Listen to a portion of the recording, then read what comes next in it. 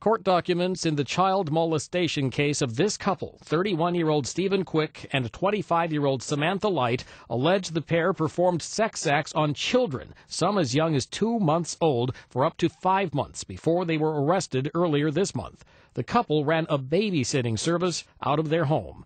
The damage that they have done to these young children are going to affect them for the rest of their lives. And there's no taking back what has happened already.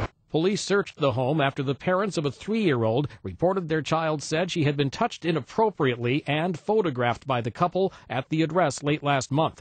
Authorities say they found a videotape depicting sex acts involving the couple and at least four different children, ranging in age from two months to six years. Authorities say they also seized computers, cameras, a video camera, pornographic materials, sex toys, drugs, and drug paraphernalia. It makes me want to cry reading that stuff because those children, those those those poor children, and that little baby that has no had no idea what was happening to it. The couple is currently being held on $100,000 bond. Mike Gracia, The Associated Press.